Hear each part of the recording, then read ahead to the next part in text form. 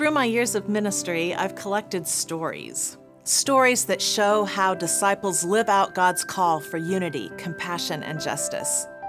My new book, Whole A Call to Unity in Our Fragmented World, tells these stories in the context of what our church is called to be and do as we move deeper into the 21st century.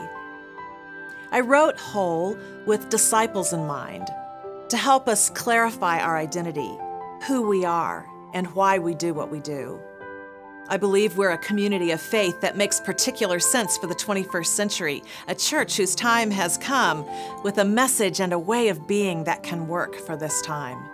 But I also wrote this book for non disciples, to introduce a branch of the Christian family that is not as well known as some others. We have a story the world needs to hear. And I wrote Whole for anyone interested in living in deep spirituality, true community, and a passion for justice. I wrote for those seeking hope that humanity can live together with our diversity as a cherished gift. Chalice Press, our denomination's publishing house for more than a century, has produced Whole.